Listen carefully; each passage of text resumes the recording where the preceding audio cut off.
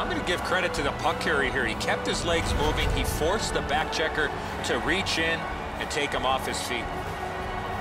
You can just see the confidence when a team is lightning-like on the power play, and this one is. They get another chance beginning now. It's dropped. They lock up, and that's a good job by the winger. Clears the zone.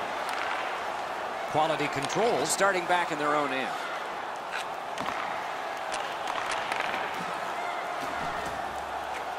Nicely received at the point. Gets that one on across. Score!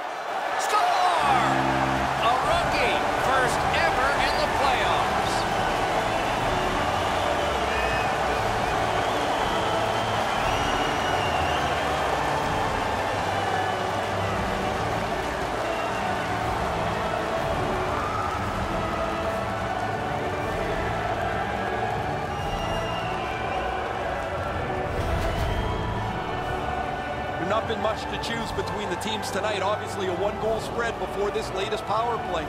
They score on the power play and get the game tied back up. Quality control scored a goal to get this game tied.